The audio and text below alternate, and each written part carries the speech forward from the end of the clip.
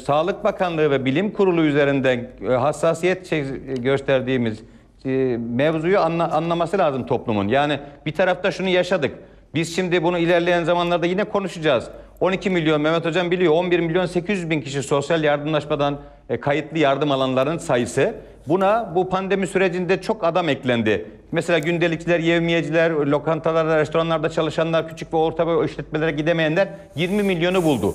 Şimdi bu şu demektir. Toplumun dörtte biri yardıma muhtaç. 18 yıllık bir iktidarda misalen söylüyorum 18 milyon yardıma muhtaç insan da bu muhasebe edilmesi gereken bir şeydir. Yani bir sürü problemimiz var ve bu problemler içerisinde yetki tartışması en sakil duran tartışmadır. Efendim ye- yetki toplam para toplamaya var mı selahiyetin yok mu? Bundan ziyade topladığınız yardımları nasıl dağıtabiliyorsunuz?